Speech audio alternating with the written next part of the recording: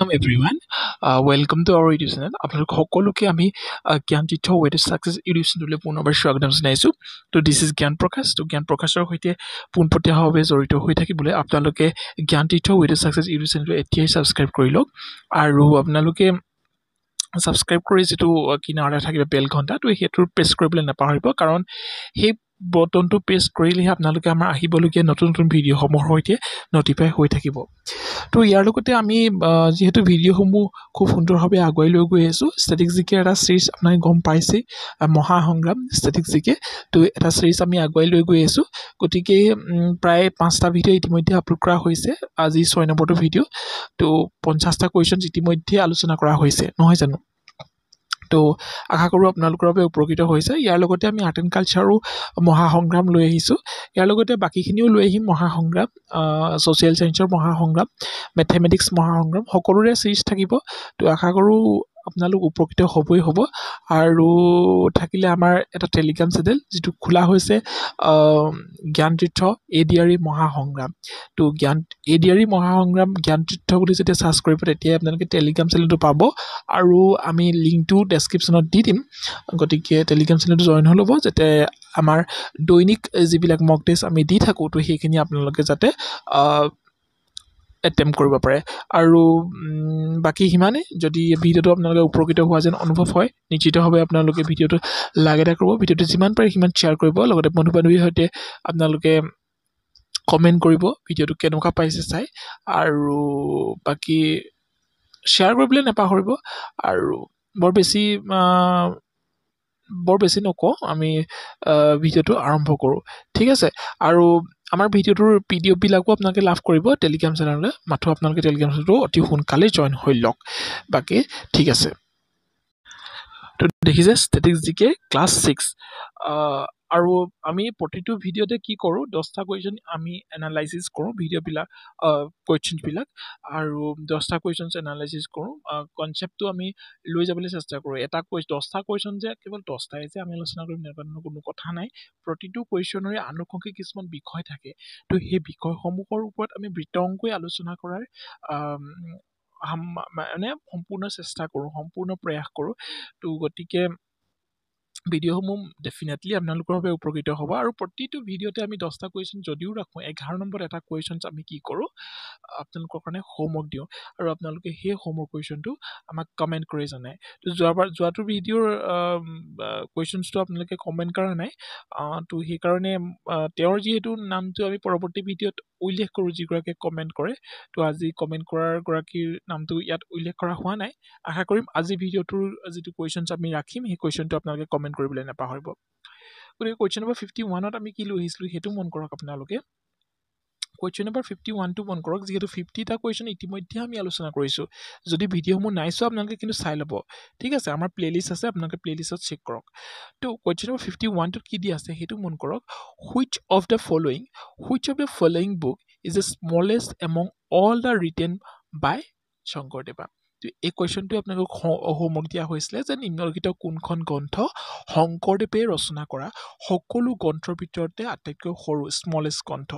তো আমি সকলোৱে জানো ইয়াত আচলতে অপশ্যন নিদিলেও আমি ক'ব পাৰিবই লাগে যে গুণমালা গুণমালা যিখন বুক হয় শংকৰদেৱৰ তো গুণমালা সেই বুকখন আচলতে শংকৰদেৱৰ আটাইতকৈ স্মলেষ্ট বুক হয়। ঠিক আছে? বাকী এইখিনি আছে নামঘোষা। নামঘোষাটোতো শংকৰদেৱৰ কেতিয়াও নহয়। আমি সকলোৱে জানো নামঘোষা হৈছে হাজাৰী ঘোষা বুলি আমি জানো। হয়নে? হেজাৰী ঘোষা আৰু এইখন হৈছে মাধৱদেৱৰ। ঠিক আছে? তো বাকী আহিলে কীৰ্তন ঘোষা সেইখন শংকৰদেৱৰ। বাকী আহিলে দশম। দেখিছে? তো option A will be the correct answer ঠিক আছে?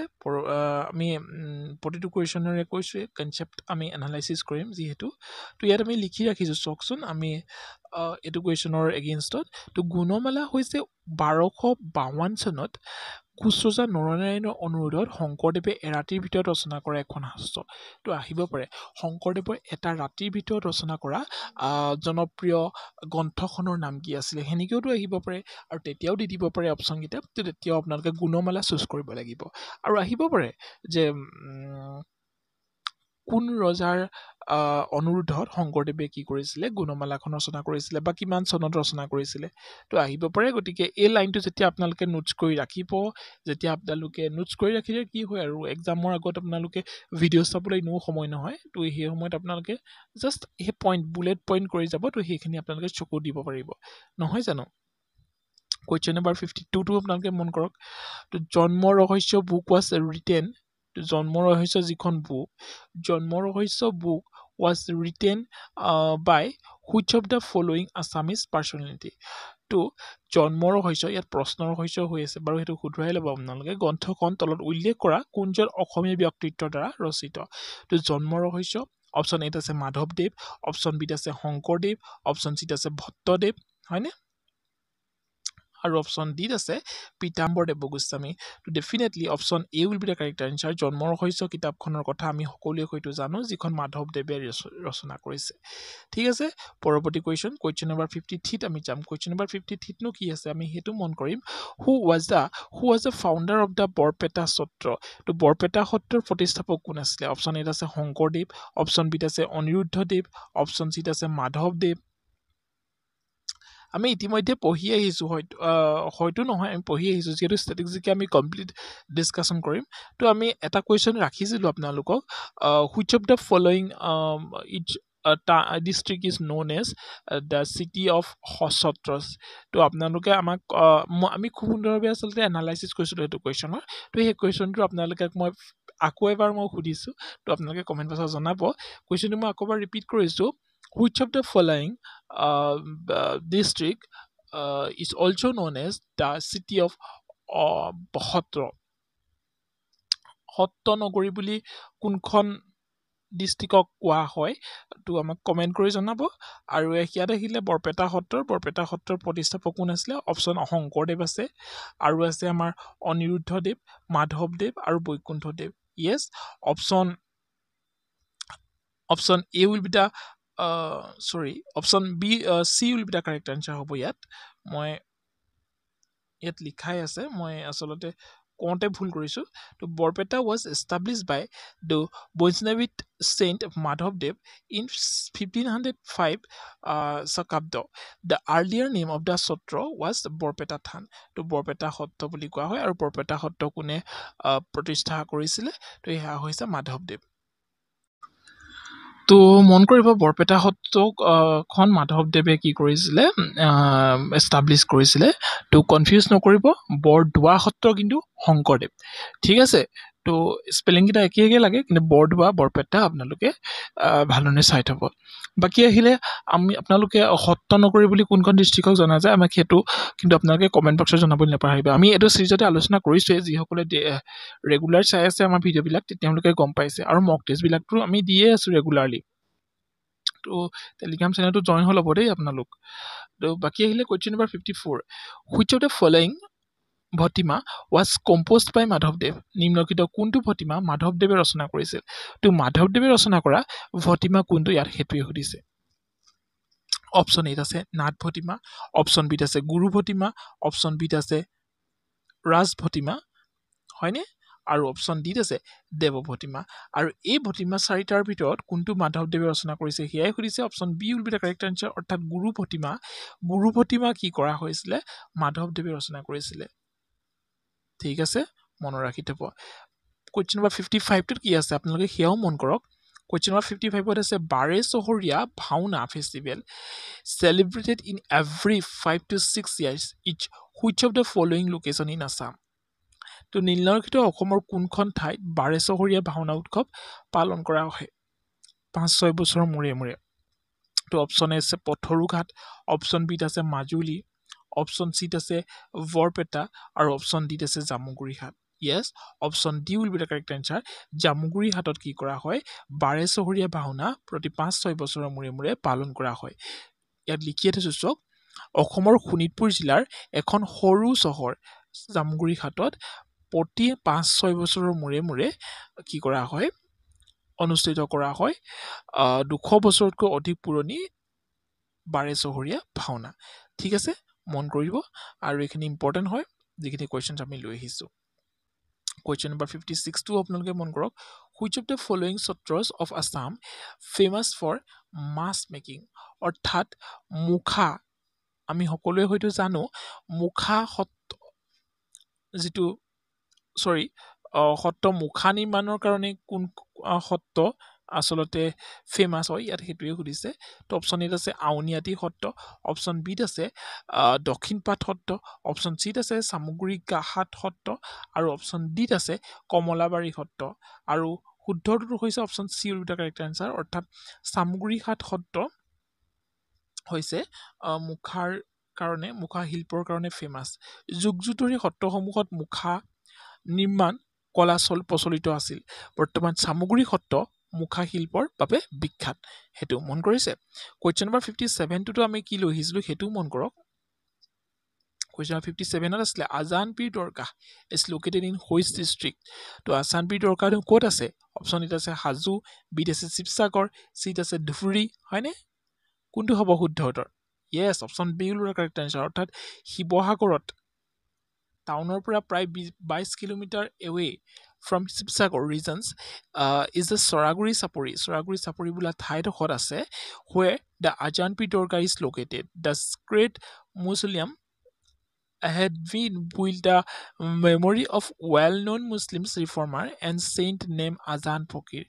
তো তেওঁৰ বিষয়ে সকলোৱে হয়তো জানে he came in the north east part of India from Baghdad in the century seventeenth নহয় জানো কুৱেশ্যন নাম্বাৰ ফিফটি এইটটোত আমি যাম। তাত কি দিয়া আছে? Which of the following places is a pilgrim centre for three religions namely Hindus Buddhist and Islam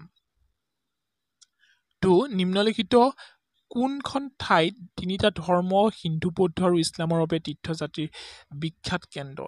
ইয়াত সেইটোৱে সুধিছে। আৰু আমি সকলোৱে জানো Hajo option B will be the correct answer তো Hajo is a pilgrim centre for three religious namely Hindus Buddhist and Islam মন কৰক ঠিক আছে। কুৱেশ্যন নম্বৰ ফিফটি নাইনত আমি কি লৈ আহিছিলোঁ? Who wrote the first Assamese sonnet Priyatamar Chithi. অসমীয়া প্ৰথম অসমীয়া পনেট চনেট প্ৰিয়তমাৰ চিঠি কোনে ৰচনা কৰিছিলে? প্ৰিয়তমাৰ চিঠিৰ কথা আমি জানো। প্ৰথম অসমীয়া চনেট কি বুলিও আহিব পাৰে তো সেয়া হ'ব প্ৰিয়তমাৰ চিঠি তো প্ৰশ্নটোতে এটা আনচাৰ আছে। নহয় জানো? তো প্ৰিয়তমাৰ চিঠি হৈছে প্ৰথম অসমীয়া চনেট। আৰু সেই প্ৰথম অসমীয়া চনেট কোনে লিখিছিলে? লক্ষ্মীনাথ বেজবৰাই লিখিছিলে নেকি? লিখা নাই কেতিয়াও। হেমচন্দ্ৰ বৰুৱা আৰু হেমচন্দ্ৰ গোস্বামী এই দুটা অপশ্যনৰ ভিতৰতে কোনোবা এটা হ'ব নিশ্চয়। তো আপোনালোকে আমাক কমেণ্ট কৰি জনাবলৈ চেষ্টা কৰকচোন আমি বহাই থাকোঁতে। Yes option C will be the correct answer Hemchandra গোস্বামীয়ে কি কৰিছিলে অসমীয়া প্ৰথম চনেট কবিতাটো লিখিছিলে আৰু সেয়া হৈছে প্ৰিয়তমাৰ চেঠি। অসমীয়া প্ৰথম চনেট পুথিখনৰ নাম কি? মালচ সেইটো আপোনালোকে মনত ৰাখি থ'ব। ঠিক আছে? কুৱেশ্যন নম্বৰ ছিক্সটিত আমি কি লৈ আহিছিলোঁ? Who among the following Assamese singer is known as the nightingale of Assam অসমৰ নাইটেংগেল অফ আছাম কোনগৰাকী ছিংগাৰক কোৱা হয়? ইভাগেতো নাইটেংগেল অফ আছাম বুলি ক'লে সৰোজিনী নাইডু। আমি সকলোৱে জানো কিন্তু অসমৰ কোন হয় আৰু অসমৰ সেইগৰাকী বিখ্যাত গায়িকা হৈছে দীপালী বৰঠাকুৰ বাইদেউ। তো Dipali Borthakur was able to take place at the hearts of the people of Assam with her Kokil Kantha. The Kokil Kantha বুলি জনা যায় its known as the nightingale of কি কৰিছিলোঁ আমি? কুৱেশ্যন নম্বৰ ছিক্সটো কি কৰিছিলোঁ? আমি এটা হোমৱৰ্ক ৰাখিছিলোঁ আপোনালোকৰ বাবে। তো আৰু সেই কুৱেশ্যনটো আছিলে who was call as Sarojini Naidu Sarojini of Assam's তো অসমৰ সৰোজিনী বুলি তলৰ কোনগৰাকী মহিলাক কোৱা হয়?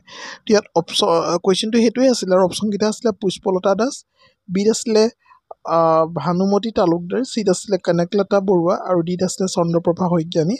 Yes option B will be the correct answer অৰ্থাৎ ভানুমতী তালুকদাৰক আমি কি কৰিছিলোঁ Bhanumati Talukdar was call as Sarojini of Assam's by Mahatma Gandhi তো মহাত্মা গান্ধীয়ে কি কৰিছিলে ভানুমণি ভানুমতী যিগৰাকী তালুকদাৰ তেখেতক মহাত্মা গান্ধীয়ে কৈছিলে যে সৰোজিনী অফ ইণ্ডিয়া তো সুধিব পাৰে তো মনত ৰাখি থ'ব। পৰৱৰ্তী question question number sixty two sixty টুটোত আমি কি লৈ আহিছিলোঁ সেইটোও মন কৰক। কুৱেশ্যন নম্বৰ ছিক্সটি টুত লিখি লিখা আছিলে who gave Gopinath Bordoloi Bordoloi the Lokpriya Gopinath Bordoloi এটা উপাধি আছিলে লোকপ্ৰিয় গোপীনাথ বৰদলৈ আমি সকলোৱে জানো। তো তেওঁকনো সেই উপাধিটো কোনে দিছিলে? অপশ্যন এত আছে জয়ৰাম দাস দৌলতৰাম। হয়নে? অপশ্যন এত আছে জয়ৰাজ জয়ৰাম দাস দৌলত দৌলতৰাম। অপশ্যন বিত আছে জৱাহৰলাল নেহেৰু জৱাহৰলাল নেহেৰু আছে অপশ্যন বিত অপশ্যন চিত আছে কি? অপশ্যন চিত আছে মহাত্মা গান্ধী দেখিছে? আৰু অপশ্যন ডিত আছে বিষ্ণুৰাম মেধি ঠিক আছে? তো আমাৰ যিগৰাকী লোকপ্ৰিয় গোপীনাথ বৰদলৈ আমাৰ অসমৰ প্ৰথমগৰাকী কি হয় চিফ মিনিষ্টাৰ গতিকে তেখেতক লোকপ্ৰিয় বুলি আমি সকলোৱে জানো গতিকে তেওঁক তেখেতক লোকপ্ৰিয় যিটো উপাধি ইয়াত আচলতে এই অপশ্যনটো বি বুলি আছে কিন্তু এইটো অপশ্যন এ হ'ব লাগে। অৰ্থাৎ জয়ৰাম দাস দৌলতৰাম আমি ইয়াত যিখিনি লিখিছোঁ তাত ঠিকেই লিখিছোঁ কিন্তু এই বিটো আমি এ লিখিব লাগিব ঠিক আছে? Due to unselfish unselfish dedications towards Assam's and its people the then governor of Assam Jayram Das Daulatram তেতিয়া জয়ৰাম নাম দৌল দৌলতৰাম কি আছিলে গভৰ্ণৰ অফ আছাম আছিলে আৰু conferred Gopinath Bordoloi with the title of Lokpriya তো তেওঁক লোকপ্ৰিয় উপাধিটো তেওঁ দিছিলে তো মনত ৰাখিব জয়ৰাম দাস দৌলৰাম পৰৱৰ্তী কুৱেশ্যন কুৱেশ্যন নম্বৰ ছিক্সটি থ্ৰীত কি আছে সেয়াও মন কৰক কুৱেশ্যন নম্বৰ ছিক্সটি থ্ৰীত আছে ivory work centre is located in ivory work মানে হৈছে হাতী দাঁতৰ যিটো শিল্প। হাতী দাঁতৰ কৰ্মকেন্দ্ৰ ক'ত অৱস্থিত? ইয়াত সেইটোৱে সুধিছে। অপশ্যন এত আছে সৰ্থেবাৰী সৰ্থেবাৰী কিহৰ বাবে বিখ্যাত আমি সকলোৱে জানো। টুনাই আৰু কোৱাৰ কোনো প্ৰয়োজন নাই। কাৰণ বহুত সৰু লেভেলৰ পৰা আমি এইখিনিয়ে পঢ়ি আহিছোঁ নহয় জানো? তো মাজুলী আছে বিত অপশ্যন চিত আছে লখিমপুৰ আৰু অপশ্যন ডিত কি আছে আমি সেয়া লক্ষ্য কৰিম। অপশ্যন ডিত আছে Barpeta. Yes option D will be the correct answer অৰ্থাৎ আইভৰি ৱৰ্ক চেণ্টাৰ অৰ্থাৎ হাতীটোৰ যি শিল্প সেই শিল্প আচলতে বৰপেটাত আছে। ঠিক আছে? কুৱেশ্যন নম্বৰ ছিক্সটি ফ'ৰটো আমি আলোচনা কৰিম। কুৱেশ্যন নম্বৰ ছিক্সটি ফ'ৰটো আমি কি লৈ আহিছিলোঁ? কুৱেশ্যন নম্বৰ ছিক্সটি ফ'ৰত আমি লৈ আহিছিলোঁ which of the following only Ramsar site of Assam's অসমৰ অনলি ৰামচৰ চাইট কি হয়? ইয়াত সেইটোৱে সুধিব বিচাৰিছে। অপশ্যন এত আছে দীপৰ বিল অপশ্যন বিত আছে চান্দুবি অপশ্যন চিত আছে সোণ বিল আৰু অপশ্যন ডিত আছে মাগুৰী বিল য়েছ আমি সকলোৱে জানো দীপৰ বিলখন আমাৰ অসমৰ একমাত্ৰ ৰামচৰ চাইট হয় ৰামচৰ ৱেটলেণ্ড হয়। The site is located in the Kamrup district Kamrup ডিষ্ট্ৰিক্টত আছে আৰু সেইটো মনত ৰাখিব। তো ৰামচৰ চাইট অসমৰ এখন কিন্তু মই যদি আপোনালোকক সোধোঁ ইউনেস্ক' চাইট বৰ্তমান সময়ত কেইখন? তো আপোনালোকৰ আনচাৰ কিন্তু এতিয়া দুখন নহ'ব তিনিখন হ'ব। যিহেতু আজি এটা খুব ভাল দিন আমাৰ অসমবাসীৰ কাৰণে প্ৰাউড মুমেণ্ট যে Charaideo Maidam is declared as the UNESCO' site তো that is that is the third UNESCO' site হয় আমাৰ অসমৰ। গতিকে এইটো এটা বহুত প্ৰাউড মুমেণ্ট হ'ব লাগে।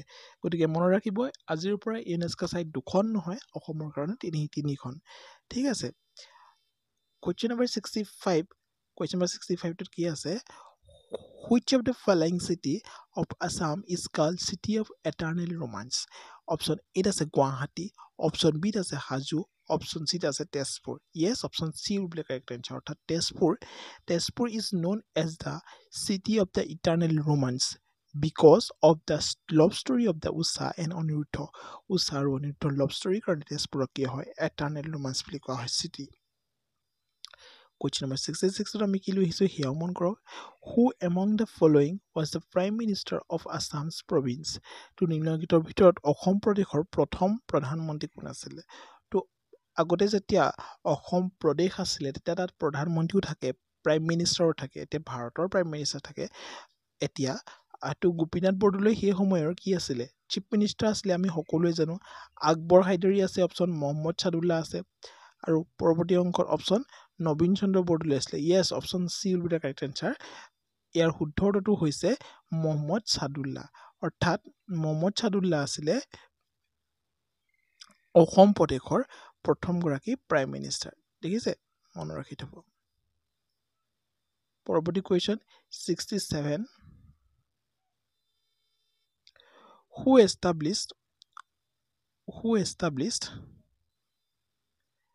the first tea garden of Assam upper Assam upper আছামত কোনে প্ৰথম টি গাৰ্ডেন এষ্টাব্লিছ কৰিছিলে? মণিৰাম দেৱান আছে বিত আছে জগন্নাথ বৰুৱা চিত আছে পিয়লিপ বৰুৱা আৰু ডিত আছে মাণিক চন্দ্ৰ বৰুৱা। এটা বহুত সহজ কুৱেশ্যন য়েছ মণিৰাম দত্ত বৰুৱা যিগৰাকী popularly known as Maniram Dewan was an Assamese noblemen British India he was one of the first people to establish tea garden in Assam ঠিক আছে? ঠিক আছে? পৰৱৰ্তী কুৱেশ্যন কুৱেশ্যন নম্বৰ ছিক্সটি এইটটোলৈ আমি যাম। তো তাত আছে what is Sarthebari famous for ইতিমধ্যে এটা কুৱেশ্যনৰ অপশ্যনত আছিলেই আৰু মই কুৱেশ্যনটোৰ আনচাৰ আপোনালোকক কৈ দিয়া নাছিলোঁ বাৰু বাট কৈছিলোঁ যে সৰ্থেবাৰী কিমান পপুলাৰ হয় নহয় জানো? গতিকে সৰ্থেবাৰী আমাৰ অসমৰ কিহৰ কিহৰ কাৰণেনো বিখ্যাত? এতিয়া আইভৰীৰ কাৰণেনো কি বিখ্যাত সেই বিষয়েটো আমি পঢ়িয়ে আহিলোঁ আইভৰীনো কি হয়? হাতী দাঁতৰ শিল্প ক'ত আছে আমি বৰপেটাত আছে বুলি ইতিমধ্যে পঢ়িছোঁ হয়নে? তো সৰ্থেবাৰী ফেমাছ ফৰ হাতী দাঁতটো কেতিয়াও নহয়েই। পাট মুগা হ'ব জানো? নহয়। য়েছ কাঁহ শিল্পৰ উদ্যোগৰ কাৰণে কি হয়? সৰ্থেবাৰী বিখ্যাত হয়। হয়নে? Option C will be the correct answer ইয়াত ইয়াত চাওকচোন আপোনালোকে। লিখিয়ে ৰাখিছোঁ Sarthebari is famous Sarthebari is famous for its historic Assamese bell metal utensils and for traditional Assamese structure call sarai and many people associates with this institutes ঠিক আছে মনত ৰাখি থ'ব। কুৱেশ্যন নম্বৰ ছিক্সটিন নাইনটিন আমি কি লৈ আহিছিলোঁ? সেই বিষয়েও মন মন কৰিব। তাত আমি লিখি ৰাখিছিলোঁ in which was the first railway line laid in Assam's অসমত কিমান চনত প্ৰথম ৰেলৱে লাইন লিড কৰা হৈছিলে স্থাপন কৰা হৈছিলে? Eighteen eighty one eighteen eighty nine nineteen hundred three আৰু nineteen hundred eight yes option A will be the correct answer অৰ্থাৎ অসমত Assam got first railway line in eighteen eighty one when the Assam Railway and Trading Company set up meter gauge track mainly used for the transportations of tea and coal. A 65 kilometer long meter gauge line was constructed from Dibugor to Margarita. ঠিক আছে পৰৱৰ্তী question question number seventy question number ছেভেণ্টিত কি আছে? সেইটো আমি মন কৰিম। Which of the following was first Assamese colour film Asomiya? প্ৰথমখন ৰঙীন ছবি ৰঙীন কথা ছবি কোনখন হয়? কথাছবি বুলি কওঁতে আমাৰ বৰ্তমান বোলছবি জগতৰ কাৰণে আচলতে বহুত সোণালী সময় বুলি ক'ব লাগিব। কাৰণ ইখনৰ পিছত ইখন বিগ বাজেটৰ আৰু সফল ছবি নিৰ্ম ছবি নিৰ্মাতাই ছবি নিৰ্মাণ কৰিছে। যথেষ্ট এটা ভাল লগা সময় প্ৰাউড মুমেণ্ট আমাৰ কাৰণে নহয় জানো? কাৰণ এতিয়া বৰ্তমানো চলি আছে এখন খুবেই জনপ্ৰিয় হৈছে। তো সকলোৱে গম পাওঁৱেই বিদুৰ ভাই। তো যিসকলে নাই চোৱা নিশ্চয়ভাৱে চাওক। আপোনালোকে অসমীয়া চিনেমা চাব লাগে নিশ্চয়ভাৱে নিশ্চিতভাৱে। তো এই কুৱেশ্যনটো কি আছে? Which of the following first Assamese colour film তো কালাৰ ফিল্মখন হৈছে ভাইটি অপশ্যন চি কোনে কোনে বিদুৰ ভাই চালে আপোনালোকে কমেণ্ট বক্সত নিশ্চয়কৈ জনাব। আমিও চালোঁ আৰু খুব সুন্দৰ হৈছে সঁচাকৈ।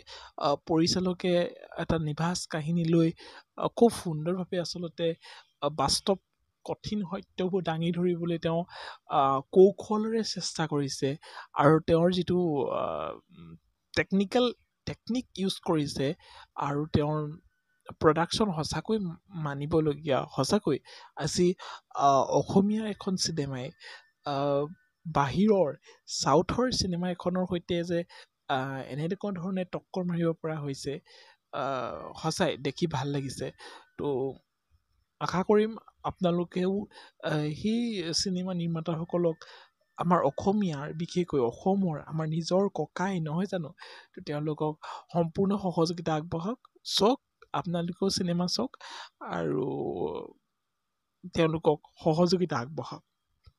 ঠিক আছে?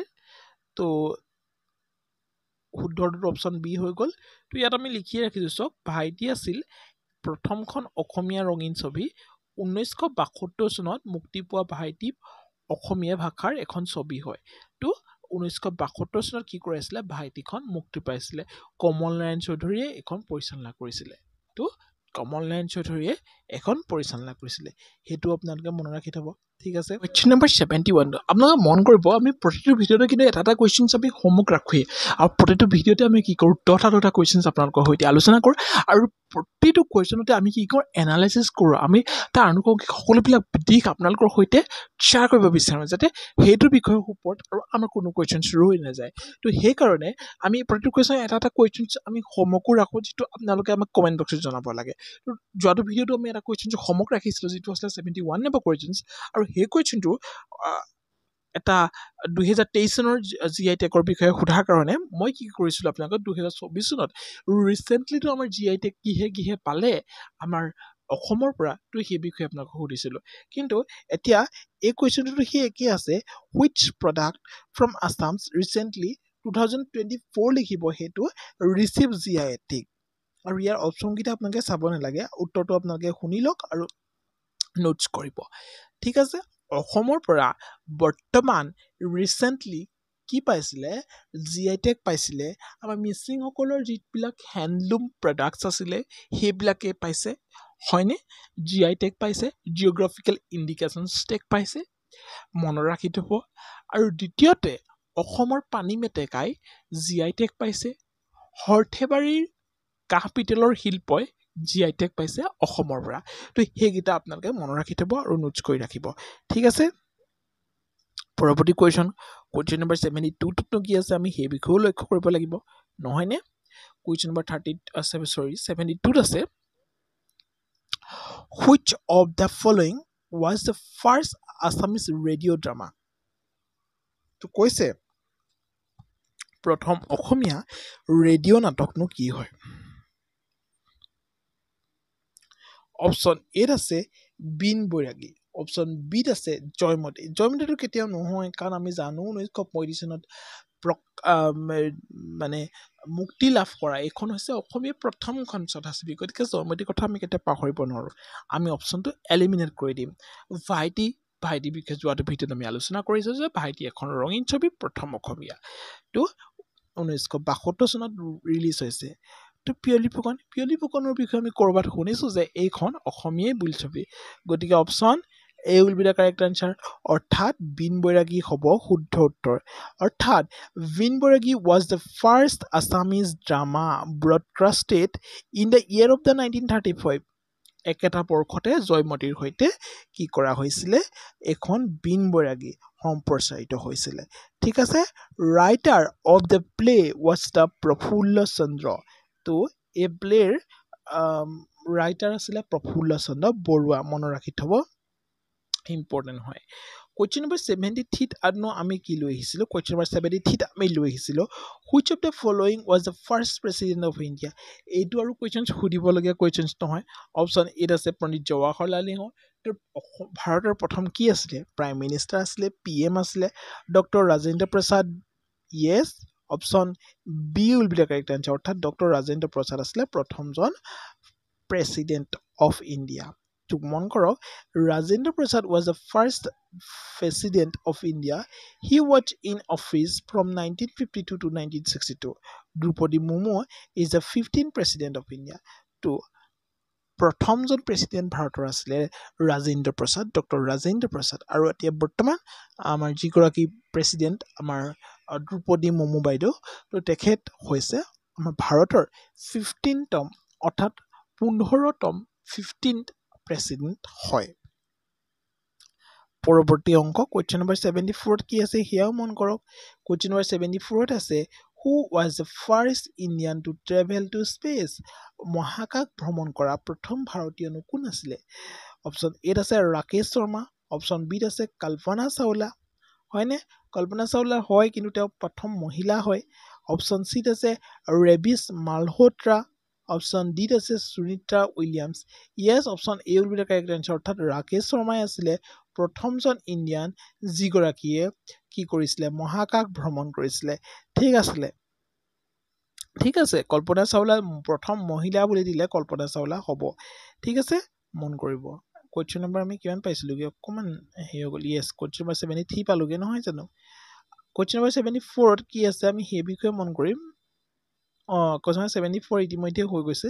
কুৱেশ্যন নম্বৰ ছেভেণ্টি ফাইভটোনো কি আছে আমি সেই বিষয়ে মন কৰিম কুৱেশ্যন নম্বৰ ছেভেণ্টি ফাইভত আছে name the Indian who won the Miss Universe crown for the first time Miss ইউনিভাৰ্ছৰ মুকুট প্ৰথম বাৰৰ বাবে জয় কৰা ভাৰতীয়গৰাকীৰ নাম কি আছিলে?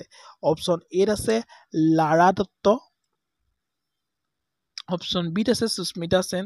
অপশ্যন চিত আছে মানুষে চিলাৰ আৰু অপশ্যন ডিত আছে Reita Faria yes option A will be the correct answer A নহয় option B will be the correct answer অৰ্থাৎ সুস্মিতা সেন সুস্মিতা সেন আছিলে প্ৰথমগৰাকী ভাৰতীয়। In nineteen hundred ninety four two Sushmita Sen's made the history by winnings the Miss Universe crown the becoming the first Indian to achieve this prestigious title তো ঊনৈছশ চৌৰান্নব্বৈ চনত তেওঁ Miss Universe খিতাপ দাখল কৰিছিলে আচলতে তেওঁ আৰু দখল কৰি তেওঁ ইতিহাস ৰচিলে ৰচিছিলে। ঠিক আছে মনত ৰাখি থ'ব। পৰৱৰ্তী কুৱেশ্যন কুৱেশ্যন নম্বৰ ছেভেণ্টি ছিক্সত আমি যাম। কুৱেশ্যন নম্বৰ ছেভেণ্টি ছিক্সতনো কি আছে সেই বিষয়ে আমি মন কৰিম। Who was the first women chief minister of in India তো ভাৰতৰ প্ৰথমগৰাকী ৱুমেন ৱুমেন মানে মহিলা চিফ মিনিষ্টাৰ কোন আছিলে অপশ্যন এইট আছে মমতা বেনাৰ্জী নহয় ইন্দিৰা গান্ধী ইন্দিৰা গান্ধী চিফ মিনিষ্টাৰ হয় জানো তেওঁ প্ৰাইম মিনিষ্টাৰ আছিলে ভুল হয়নে অপশ্যন চিত আছে সুশ্বেতা কৃপেলানী অপশ্যন ডিত আছে আনোৱাৰ টেমু য়েছ অপশ্যন চিৰ বোলে কাৰেক্ট আনচাৰ আনোৱাৰ টেমু আছিলে প্ৰথমগৰাকী অসমীয়া অসমীয়া মহিলা অসমৰ মহিলা অসমত হৈছিলে তেওঁ আৰু অপশ্যন চিত হৈছিলে সুশ্বেতা কৃপেলানী তেওঁ উত্তৰ প্ৰদেশৰ পৰা হৈছিলে ত' Sucheta Kripalani was an Indian freedom fighter and politician she she was India's first female chief minister serving as heart of the Uttar Pradesh government from nineteen sixty three to nineteen sixty seven মনত ৰাখি থ'ব পৰৱৰ্তী question question number seventy seven which কৈছে which also' known as Haryana hurricane Haryana hurricane বুলি কাক কোৱা হয় বৰ বেছিদিন হোৱা নাই কিন্তু মনৰ মনত ৰাখিব আমি পঢ়াইছিলোঁ। তো হাৰিয়ানা হাৰিকেন বুলি কোৱা হয় অপশ্যন এত আছে সুনীল গাভাস্কাৰ অপশ্যন বিত আছে কপিল মাহা কপিল দেৱ অপশ্যন চিত আছে ৰবি চেত্ৰী আৰু অপশ্যন ডিত আছে Sachin Tendulkar. Yes game of cricket Kapil Dev game of cricket বুলি কোৱা also' known as the Haryana hurricane বুলি তেওঁক কোৱা হয়। Kapil Dev is associated with the game of cricket ঠিক আছে? কপিল দেৱক হাৰিয়ানা হাৰিকেন বুলি জনা যায় which also' known as the father of the Indian cinema টো ভাৰতীয় চিনেমাৰ ফাদাৰ বুলি কাক কোৱা হয়। আমি সকলোৱে জানো দাদা চাহেব ফাল্কে কি কৰা হয়। ফাদাৰ অফ অসমীয়া চিনেমা বুলি কোৱা হয় চৰি ফাদাৰ অফ চিনেমা বুলি কোৱা ভাৰতীয় চিনেমাৰ পিতৃ বুলি কোৱা হয়। তো screen writer Dada Saheb Phalke was a producer director in the Indian film industry he is also' call as the father of the Indian cinema সেইটো আপোনালোকে মনত ৰাখি থ'ব লাগিব। পৰৱৰ্তী কুৱেশ্যন কুৱেশ্যন নম্বৰ ছেভেণ্টি নাইনত কি আছে? Which of the following earn the name flying Sikh তো ফ্লাইং চিক বুলি কাক কোৱা হয়? মিল্খা সিংহয়ে কোৱা হয়। অপশ্যন এইটোৱে আছে আমি শুদ্ধটো কৈয়ে দিলোঁ আৰু। অপশ্যন চাৰিটা আছে আপোনালোকে চাই ল'ব পাৰিব। ঠিক আছে। Milkha Singh is also' known as the flying Sikh he was a former Indian track and the field sprinter ঠিক আছে? পৰৱৰ্তী কুৱেশ্যন কুৱেশ্যন নম্বৰ এইটটি আজিৰ ভিতৰতে শেষৰটো questions what is the name of the crematorium of Mahatma Gandhi তো মহাত্মা গান্ধীৰ সমাধিৰ নাম কি? তো এইবিলাক আহে কিন্তু দেই। মহাত্মা গান্ধীৰ সমাধিৰ নাম কি? আমাৰ বি আৰ আম্বেদকাৰৰ সমাধিৰ নাম কি নহয় জানো? অপশ্যন এইত আছে বিজয় ঘাট অপশ্যন বিত আছে ৰাজঘাট অপশ্যন চিত আছে কিষাণ ঘাট আৰু অপশ্যন ডিত আছে বীৰভূমি। য়েছ ৰাজঘাট হৈছে মহাত্মা গান্ধীৰ সমাধি ক্ষেত্ৰ। ক'ত আছে ৰাজঘাট? ৰাজঘাট আছে দিল্লীত। Rajghat in Delhi is stretch elegant memorial dedicated to the father of the nations তো তেওঁক ফাদাৰ অফ দ্য নেশ্যনছ বুলি কোৱা হয় Mahatma Gandhi. It is located on the banks of river Yamuna মনত ৰাখি থ'ব। আপোনালোকৰ সৈতে ডিছকাশ্যন কৰিবলৈ আহিছোঁ। তো এইটটি নম্বৰ কুৱেশ্যনটোলৈকে ইতিমধ্যে আমাৰ পৰৱৰ্তী পূৰ্বৱৰ্তী যি সাতটা ক্লাছ চৰি আঠটা ক্লাছ এই আঠটা ক্লাছতে কি হয় আমি ডিছকাশ্যন কৰিছোঁ। তো ডেফিনেটলি আপোনালোকে চাই ল'ব ডেছক্ৰিপশ্যনত প্লে'লিষ্টৰো লিংক থাকিব নহ'লে আমাৰ চেনেলত গ'লেও আপোনালোকে পাব। কুৱেশ্যন নম্বৰ এইটটি ওৱানটো আমি য'তে ভিডিঅ'ত হোমৱৰ্কে দিছিলোঁ which of the following is the crematorium of Indian Indira Gandhi তো নিম্নলিখিত কোনটো ইন্দিৰা গান্ধীৰ সমাধি? তো সমাধিৰ ৰূপত আহে প্ৰায় তো অপশ্যন এ আছে শক্তিস্থল অপশ্যন বিত আছে গান্ধী চৰি ইণ্ডিয়া শক্তি স্ত্ৰী শক্তি আছে আৰু অপশ্যন ডিত আছে নান অফ দিছ এতিয়া বহুতে হয়তো ইণ্ডিয়া দেখি ইণ্ডিয়া শক্তিয়ে চুজ কৰি গুচি আহিব কিন্তু শুদ্ধ উত্তৰটো হ'বলৈ গৈ আছে অপশ্যন এ অৰ্থাৎ শক্তিস্থল। শক্তিস্থল মন কৰিব Shaktisthal is the crematorium of Indira Gandhi হয়নে? তো ইন্দিৰা গান্ধী হয় তো মনত ৰাখিব। পৰৱৰ্তী কুৱেশ্যনটোলৈ যাওঁ। এইখিনিতে মই আপোনালোকক এটা কমেণ্ট কৰিবলৈ ক'ম। আমাৰ ভাৰতৰ প্ৰথমগৰাকী মহিলা ৱুমেন আমাৰ ভাৰতৰ প্ৰথমগৰাকী মহিলা পি এম কোন আছিলে আপোনালোকে আমাক কমেণ্ট কৰি জনাব।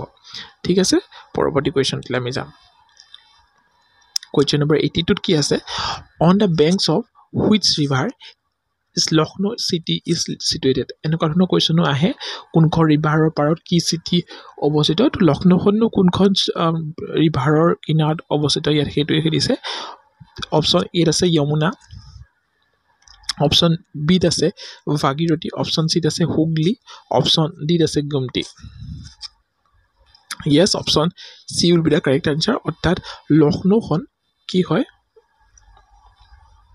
অঁ তো চৰি অপশ্যন ডি গুমটি গুমটি ৰিভাৰৰ বেংকত আচলতে লক্ষ্ণৌখন অৱস্থিত।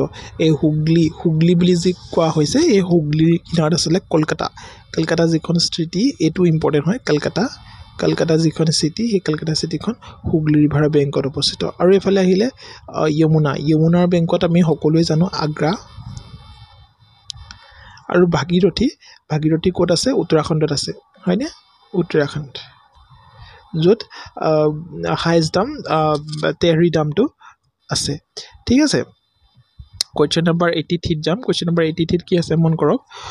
Which river is known as the life line of the Madhya Pradesh তো মধ্যপ্ৰদেশৰ কোনখন নদীক আচলতে লাইফ লাইন জীৱন ৰেখা বুলি কোৱা হয় মধ্যপ্ৰদেশৰ ইয়াত অপশ্যন এত আছে নৰ্মদা ৰিভাৰ অপশ্যন বিত আছে গোদাবৰী ৰিভাৰ অপশ্যন ডিত আছে কাবেৰী ৰিভাৰ আৰু অপশ্যন ডিত আছে Ganga river yes option B will be the correct answer. Godavari river is also' known as the life line of the Madhya Pradesh. তো মধ্যপ্ৰদেশৰ লাইফ লাইন লাইফ লাইন কাক কোৱা হয়? হয়তো আজিৰ পৰা সকলোৱে গম পাইছে। তো গোদাবৰী নদীখনকে মধ্যপ্ৰদেশৰ লাইফ লাইন বুলি কোৱা হয়। তো এইখনকে চাউথ গংগা বুলিও কোৱা হয়। হয়নে? চাউথ গংগা। পৰৱৰ্তী কুৱেশ্যনলৈ যাওঁ। কুৱেশ্যন নম্বৰ এইটি ফ'ৰ তাত কি দিয়া আছে মন কৰক? Which of the following is not matches correctly তলৰ কোনটো সঠিকভাৱে মিল থকা নাই? কি কিনো আছে আমি চাওঁ বাৰু চোলামু লেক চোলামু লেক ছিকিমত আছে উলাৰ লেক উলাৰ লেক জম্মু কাশ্মীৰত আছে য়েছ উলাৰ লেক জম্মু কাশ্মীৰত আছে that is that is the largest fresh water lake of India হয়নে আমি সকলোৱে জানো চোলামু লেক ছিকিমত আছে য়েছ চোলামু লেক ছিকিমত আছে পুলিকট লেক পুলিকট লেক অন্ধ্ৰপ্ৰদেশত আছে চম্ভৰ লেক য়েছ হয়নে? চম্বৰ লেক ক'ত আছে ৰাজস্থানত আছে নৰ্থ মহাৰাষ্ট্ৰ। মহাৰাষ্ট্ৰ লিখা আছে চম্বৰ লেকটো আছে Rajasthan.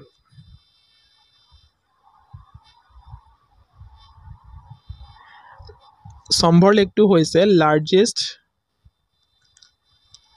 largest inland saline water lake inland saline water lake notes কৰি ৰাখিব চেলাইন ৱাটাৰ লেক পৰৱৰ্তী কুৱেশ্যন কুৱেশ্যন নম্বৰ ইয়াত লিখাও আছে চাওক Cholamling is situated in Sikkim ছিকিমত আছে। Wular lake is situated in Jammu Kashmir to that is the largest fresh water lake largest lagoon lake বুলি ক'লে চিল্কা লেক হ'ব উৰিষ্যাত আছে পুলিকট লেকটো অন্ধ্ৰপ্ৰদেশত আছে আৰু চম্বৰ লেকটো ক'ত আছে? ৰাজস্থানত আছে। ঠিক আছে? That is the largest inland saline water lake question number eighty ফ'ৰত এইটি ফাইভত আছে Agra is located on the bank of which of the following ইতিমধ্যে পঢ়ি আহিছোঁ। তো আগ্ৰা কি বেংক কি নদীৰ কিনাৰত আছে? তো হুগলী নদীৰ কিনাৰত আমি পঢ়িছোঁৱে কলকাতা। হয়নে? ভাগীৰথীৰ লগত জড়িত আমাৰ দাম ক'ত আছে? উত্তৰাখণ্ডত আছে। Yamuna Yamuna is the correct answer হ'ব। যমুনা নদীৰ কিনাৰত আগ্ৰা আছে তো গংগাও আছে ইয়াত অপশ্যনটো তো আমি কি লিখিছোঁ চব? Agra is a city on the bank of the river Yamuna in the northern state of the Uttar Pradesh. Uttar প্ৰদেশত আছে ইণ্ডিয়াৰ। ঠিক আছে মন কৰি থ'ব। পৰৱৰ্তী কুৱেশ্যনটোলৈ আমি যাম। ঠিক আছে পৰৱৰ্তী কুৱেশ্যনটোলৈ আমি যাম। পৰৱৰ্তী question eighteen question number eighty six তো তাতো চাওক সেইটো আমি ইতিমধ্যে মুখেৰে কৈয়ে আহিছিলোঁ যদিও লিখা নাছিলোঁ তো চিল্কা লেকটো ক'ত লোকেটেড হয় তো উৰিষ্যা আমি ইতিমধ্যে আলোচনা কৰিছোঁ হয়নে? তো সেইটো আৰু বেলেগকৈ আলোচনা কৰাৰ কোনো প্ৰয়োজন নাই আৰু চিল্কা লেকটোৱে largest fresh saline water lake হয় ইণ্ডিয়াৰ। তো Chilka lake is a brackish water lake একেটা কথাই ব্ৰেকিজটো আমি চেলাইন বুলিও ক'ব পাৰোঁ। ঠিক আছে? And shallow lagoon, a lagoon কৈছে uh, estuarine character spread across the districts of Puri, Khurda and Orissa কৈছোঁ উৰিষ্যাত আছে বুলি ইষ্টাৰ্ণ অফ দ্য ইণ্ডিয়া তো এইখিনি তেওঁৰ কাৰণে কুৱেশ্যন নম্বৰ এইটি ছেভেনত কি আছে in which state union territory is the tallest dam located তো টলেষ্ট ডামটোনো ক'ত লোকেটেড হয় সেইটোও আমি আলোচনা কৰিছোঁ। আচলতে প্ৰথম কুৱেশ্যনতে গোটেইখিনি কভাৰেই হৈ থাকিলে। তথাপিও ইউনিয়ন টেৰিটৰী ফাৰ্ষ্ট কেতিয়া ইণ্ডিয়াত ফৰ্ম হৈছিলে তো এইটো মন কৰি থ'ব। তো নাইনটিন ফিফটি ছিক্স চনত ইণ্ডিয়ান ইউনিয়ন টেৰিটৰী প্ৰথম ফৰ্ম হৈছিলে। ঠিক আছে? তো ইয়াত আছে উৰিষ্যা হিমাচল প্ৰদেশ উত্তৰাখণ্ড ৰাজস্থান ইয়াছ অপশ্যন চিৰ বুলি কাৰেক্ট এনচাৰ ইতিমধ্যে পঢ়ি আহিছিলোঁ। উত্তৰাখণ্ডত টেহৰী ডাম পঢ়ি আহিছিলোঁ যিটো উত্তৰাখণ্ডত আছে বুলি কৈছিলোঁ আমি। নহয় জানো? ভাগীৰথী ৰিভাৰৰ ওপৰত। পৰৱৰ্তী question question number eighty eight which of the following is the largest fresh water lake in India to largest fresh water lake in India largest পঢ়িয়ে আহিলোঁ largest fresh water lake in India কি আছিলে? ওলাৰ হয়নে ওলাৰ ক'ত আছিলে বাৰু? মনত পেলাওকচোন। সেয়া ওলাৰ ক'ত আছিলে ওলাৰ লেক জম্মু কাশ্মীৰত J and K. J and K ঠিক আছে? So' the Wular lake in Jammu Kashmir it's largest fresh water lake in India ঠিক আছে? মনত থাকিব? Question number eighty নাইনটো Kallanai dam Kallanai Kallanai dam is situated on bank on which river to Kallanai ডেমটো কোনখন ৰিভাৰত আছে? ইয়াত সেইটোৱে সুধিছে অপশ্যন এত আছে গোদাবৰী ৰিভাৰ অপশ্যন বিত আছে কৃষ্ণা ৰিভাৰ অপশ্যন চিত আছে কাবেৰী ৰিভাৰ আৰু অপশ্যন ডিত আছে মহানদী ৰিভাৰ আৰু কালানাই ডামটো আমাৰ কাবেৰী ৰিভাৰত আছে option C will be the correct answer হ'ব। Kallanai dam is an ancient dam হয় পুৰণি এটা ডাম হয় তামিলনাডুৰ will across the Kaveri river in Tiruchirappalli district in Tamil Nadu তামিলনাডুত আছে তো কাবেৰী ডাম চৰি কালানাই ডাম কাবেৰী ৰিভাৰত আছে। কুৱেশ্যন নম্বৰ নাইণ্টি আজিৰ ভিডিঅ'টো শেষৰটো কুৱেশ্যন তো লোনাৰ লেকৰ কথা আহি গৈছে। Lonar lake is situated in which state তো লোনাৰ হ্ৰদটোনো ক'ত অৱস্থিত? ইয়াত সেইটোৱে সুধিছে। লোনাৰৰ লগত লকটাক লেক যিটো মণিপুৰৰ ফ্লট ফ্লটিং নেশ্যনেল পাৰ্ক আছে তো সেইটো আপোনালোকে কনফিউজ নকৰিব। লোনাৰ এটা বেলেগ লেক হয় আৰু এই লোনাৰ লেকটো আছে আমাৰ মহাৰাষ্ট্ৰত আছে। So' the Lonar lake is a lake of lagoon in Buldhana district of question number one মানে আজি এইটো কুৱেশ্যন নম্বৰ নাইণ্টি ওৱান যিহেতু আমি পূৰ্বৱৰ্তী ভিডিঅ'ত কুৱেশ্যন নম্বৰ নাইণ্টিলৈকে আমি ডিছকাশ্যন কৰিছোঁ। ঠিক আছে? তো which among the following is the longest dam তো তলৰ কোনটো লংগেষ্ট ডাম হয়? ইণ্ডিয়াৰ। তো ইণ্ডিয়াৰলৈকে লংগেষ্ট ডামটোৰ দামটো কি? সেইটোৱে সুধিছে ইয়াত। অপশ্যন এত আছে হীৰাকুণ্ড ডাম হয়নে? অপশ্যন বিত আছে টেহৰী ডাম অপশ্যন চিত আছে ৰেহান ডাম আৰু অপশ্যন ডিত আছে নান অফ দিছ ওপৰৰ এটাও নহয়। গতিকে অসমৰ আটাইতকৈ চৰি ভাৰতৰ আটাইতকৈ দীঘলীয়া যিটো বান্ধ হয় সেইটো হৈছে option A will be the correct answer অৰ্থাৎ হীৰাকুণ্ড ডাম আমি ইয়াত লিখি থৈ গৈছোঁ Hirakud dam is the longest dam in India Hirakud ডামটোৱে হৈছে অসমৰ ভাৰতৰ আটাইতকৈ ডাঙৰ দীঘল ডাম হয়। লংগেষ্ট ডাম তো হায়েষ্ট বুলি কৈ দিলে কিন্তু আমি তেহৰী ডামৰ কথা ক'ব লাগিব। ঠিক আছে? তো the Hirakud dam is the situated on the river of Mahanadi তো উৰিষ্যাত আছে উৰিষ্যাৰ মহানদীত। কি হয় হীৰাকুণ্ড ডামটো আছে? ঠিক আছে পৰৱৰ্তী question question number ninety two ঠিক আছে?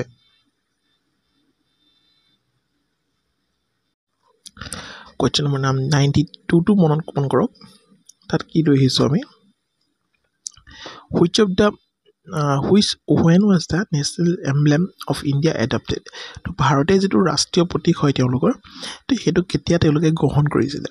অপশ্যন এত আছে পোন্ধৰ August nineteen forty nine option বিত আছে পোন্ধৰ আগষ্ট নাইনটিন ফৰ্টি ছেভেন সেইদিনাখন ভাৰত স্বাধীন হৈছিলে ছাব্বিছ জানুৱাৰী নাইনটিন ফৰ্টি নাইন আৰু আছে ছাব্বিছ জানুৱাৰী ঊনৈছশ পঞ্চাছ চন। ঠিক আছে? ইয়াৰ শুদ্ধটোতো হ'ব option D will be the correct answer অৰ্থাৎ ছাব্বিছ জানুৱাৰী ঊনৈছশ পঞ্চাছ চনত কি কৰিছিলে ভাৰতে? সেইটো তেওঁলোকৰ ৰাষ্ট্ৰীয় প্ৰতীক হয় সেইটো গ্ৰহণ কৰিছিলে। আমি অসমীয়াতো লিখি থৈছোঁ আপোনালোকৰ সুবিধা হোৱাকৈ। The state emblem is an adapts adaptation from the Sarnath lion capital তো ক'ৰ পৰা কৰা হৈছিলে অশোকা? ৰাজ্যৰ প্ৰতীক অশোকৰ চাৰনাথৰ লায়ন কেপিটেলৰ পৰা লোৱা হৈছে। In the in the state emblem adopted by the government of India on January C twenty six nineteen fifty two ঊনৈছশ পঞ্চাছ চনৰ ছাব্বিছ জানুৱাৰী তাৰিখে only three lions are visible, one fourth being hidden from view তো lion কেপিটেলৰ যিটো আমাৰ অশোক স্তম্ভত চাৰিটা লায়ন আছে। ঠিক আছে ফ'ৰ লায়ন আমি তিনিটা লাইন দেখোঁ আৰু এটা ভিজিবল হৈ নাথাকে কিন্তু থাকে আৰু এটা লাইন ঠিক আছে then question number ninety three यहाँ पर क्या है तो यहाँ पर बोला है what is the national anthem of India तो हम हमारे भारत का नेशनल एंथीम क्या है तो ऑप्शन ए में है जनगण मन বিত আছে বন্দী মাতৰম চিট আছে সত্যমে জয়তে আৰু নান অফ টাইপ অফ বহুতে এই যিটো এনথিম আৰু চং এই দুইটা শব্দতে ভুল কৰে। সংগীত আৰু গীত। তো এতিয়া ভাৰতৰ এতিয়া ৰাষ্ট্ৰীয় সংগীত বুলি কৈছে। তো ৰাষ্ট্ৰীয় সংগীত হৈছে option A will be the correct answer অৰ্থাৎ জনগণ মন চাওক ইয়াত কি লিখি ৰাখিছোঁ? দ্য চং জনগণ Mana compose originally in Bangla কৰি বাংলাত অৰিজিনেট কৰা হৈছিলে বাই ৰবীন্দ্ৰনাথ টেগুৰ তেওঁৰ আমাৰ চোনা বাংলা যিটো বাংলাদেশৰো কি হয়? ৰাষ্ট্ৰীয় সংগীত হয়। Was adopted in its Hindi versions by the Constitution Assembly as the national anthem of India on January ঠিক আছে January twenty four nineteen fifty two twenty fourth January twenty fourth জানুৱাৰীত কি কৰা হৈছিলে? এডপ্ট কৰা হৈছিলে আমাৰ নেশ্যনেল এন্থিমটো ঠিক আছে? মনত ৰাখি থ'ব পৰৱৰ্তী কুৱেশ্যনটোলৈ আমি যাম। কুৱেশ্যন নম্বৰ নাইণ্টি ফ'ৰ তাত কি আছে? Which of the following is not correct তলৰ কোনটো সত্য নহয় সেইটোৱে সুধিছে। তো নেশ্যনেল বাৰ্ডৰ কথা কৈছে ৰাষ্ট্ৰীয় চৰাই। আমাৰ ৰাষ্ট্ৰীয় চৰাই পিকক নেকি? অপশ্যন বিত আছে নেশ্যনেল ফ্ৰুইট আমাৰ ৰাষ্ট্ৰীয় ফ্ৰুইট মেংগ' হয় নেকি? অপশ্যন চিত আছে নেশ্যনেল হেৰিটেজ এনিমেল আমাৰ ৰাষ্ট্ৰীয় যিটো পশু হয় হেৰিটেজ পশু হয় ঐতিহ্য পশু হয় ইয়াৰ আমাৰ ৰয়েল বেংগল টাইগাৰ হয় নেকি? নে অপশ্যন ডিত আছে নেশ্যনেল একুৱাটিক এনিমেল ৰাষ্ট্ৰীয় জলজপ্ৰাণী আমাৰ ৰিভাৰ ডলফিন বা শিশু হয়নে? গতিকে ইয়াৰ কোনটো সত্য নহয় দিছিলে। গতিকে option C will be the correct answer the elephant was declared as the national heritage animal of India in two thousand ten তো এলি এলিফেণ্টহে আচলতে কি হয়? নেশ্যনেল হেৰিটেজ এনিমেল হয়। ৰয়েল বেংগল টাইগাৰ নহয় যিটো দুহেজাৰ দহ চনত ডিক্লেয়াৰ কৰা হৈছিলে। ঠিক আছে?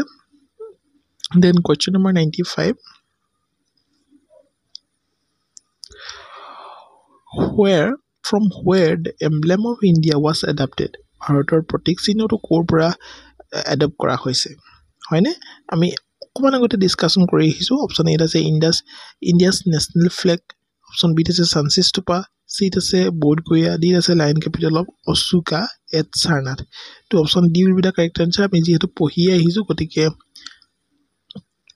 বেছি দীঘলকৈ আমি আলোচনা কৰিবলৈ নাযাওঁ। ইয়াত আছে কি দিছে চাওক the three lion emblem we see on our currency notes passports and on the letter heads of India are adopted government of from the Osugan capital of Sarnath pillar.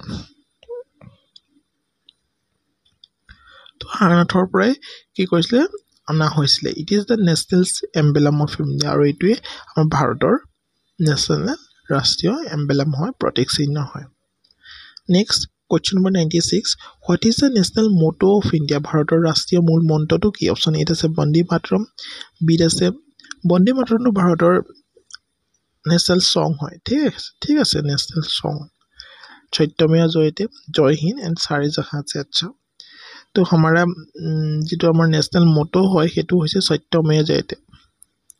আমি সকলোৱে হয়তো জানো সত্যমেয়া জয়তে যিটো মুণ্ডকা উপনিষদৰ পৰা অনা হৈছিলে ঠিক আছে ৰাষ্ট্ৰীয় মন্ত্ৰ বুলি কোৱা হয় নেশ্যনেল এম ঠিক আছে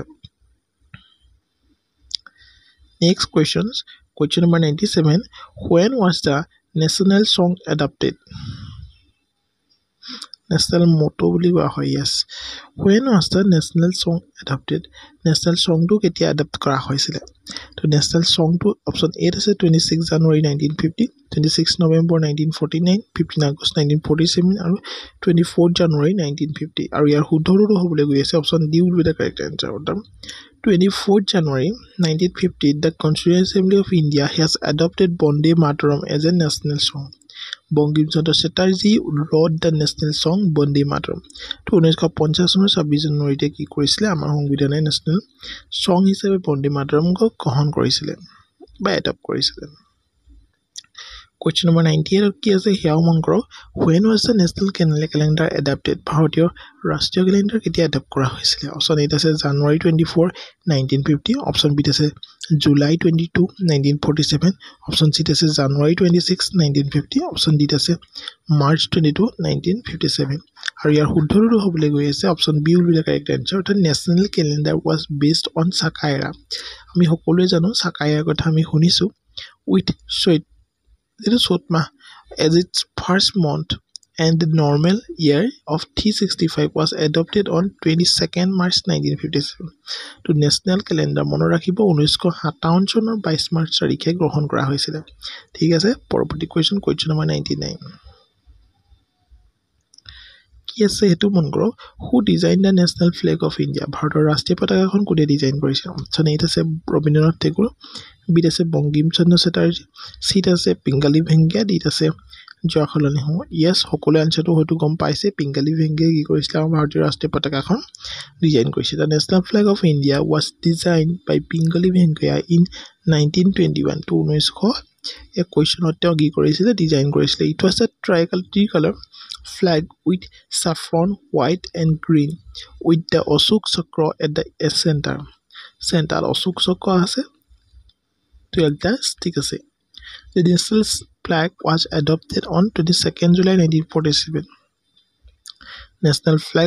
ছেকেণ্ড জুলাইত নাইনটিন ফৰ্টি ছেভেনত কি হৈছিলে? এডপ্ট কৰিছিলে। নেশ্যনেল ছং বুলি কৈ দিলে টুৱেণ্টি ফ'ৰ্থ জানুৱাৰী নাইনটিন ফিফটিত কি কৰিছিলে? এডপ্ট কৰা হৈছিলে। ঠিক আছে? পৰৱৰ্তী কুৱেশ্যন আজি ভিডিঅ'টো শেষৰটো কুৱেশ্যনলৈ আমি যাম। কুৱেশ্যন নম্বৰ হাণ্ড্ৰেড তাত কি আছে চাওক Jana Gana Mana was originally composed in Jana Gana Mana originally কি ভাষাত কম্প'জ কৰা হৈছিলে? Yes option D will be the correct answer কি হয়? বাংলা ভাষাত অৰিজিনেট কৰা হৈছিলে। চাওক the song Jana Gana Mana composed originally in Bangla by Rabindranath Tagore. Rabindranath টেগুৰে লিখিছিলে was adopted in its Hindi versions by the constituent assembly national anthem of India January twenty twenty four তো ঊনৈছশ পঞ্চাছ চনৰ চৌবিছ জানুৱাৰীত সংবিধানসভাই ভাৰতৰ ৰাষ্ট্ৰীয় সংগীত হিচাপে ইয়াক গ্ৰহণ কৰে। তো আৰু এটা কুৱেশ্যনছ আমি হোমৱৰ্ক হিচাপে ৰাখিছিলোঁ তো সেইটো কুৱেশ্যনো চাই ল'ব। যিহেতু আমি প্ৰতিটো ভিডিঅ'তে এটা কুৱেশ্যনছ হোমৱৰ্ক ৰাখোঁৱেই। তো এই কুৱেশ্যনটো খালি আপোনালোকে কমেণ্ট কৰিবলৈ নাপাহৰিব কাৰণ আমি কমেণ্ট যিজনে কৰে তেওঁক পৰৱৰ্তী ভিডিঅ'ত সকলোৰে সৈতে চিনাকি কৰাই দিয়া এটা চিৰিজো ৰাখিছোঁ। তো how many Asiatic lions are they are in the state emblem of India তো how many Asiatic lions are তো এইটো বিষয়েও আলোচনা কৰা হৈছে। এইটো ভিডিঅ'তে যদি যিসকলে মন দি পঢ়িছে তো আমাৰ লায়ন যিটো অশোক স্তম্ভ হয়নে? ষ্টেট এম্বলাম তো তাতনো কেইটা লায়ন আছে? তো সেই বিষয়ে ইয়াত সুধিছে অপশ্যন এত আছে ডি অ' চৰি অপশ্যন এত আছে টু অপশ্যন বিত আছে থ্ৰী অপশ্যন চিত আছে ফ'ৰ অপশ্যন ডিত আছে ফাইভ গতিকে কোনোবা এটা শুদ্ধ উত্তৰ হ'ব। সেইটো শুদ্ধ উত্তৰ হয় বুলি ভাবি আপোনালোকে আমাক কমেণ্ট কৰক। তো যদি উপকৃত হোৱা যেন অনুভৱ হয় ভিডিঅ'টোৰ পৰা নিশ্চিতভাৱে ভিডিঅ'টো বন্ধু বান্ধৱীৰ সৈতে নিজৰ শ্বেয়াৰ কৰিবই। লগতে ছাবস্ক্ৰাইব কৰিব বেলখন টিপি অল প্ৰেছ কৰিব। লাইক কৰিব কমেণ্ট কৰিব। আৰু আজিলৈ ইমানেই। Thank U